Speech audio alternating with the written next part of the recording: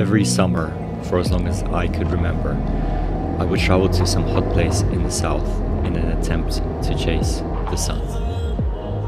This time, we decided to do something completely different and go as far north as we could to the Scottish Highlands. We found autumn in the middle of August, cold northern winds and lots of rain. But the views from the Highlands were incredible. The overall remoteness and the silence was peaceful and oddly comforting. This was a totally different way of enjoying a summer's break, and one that will stick with me in the years to come.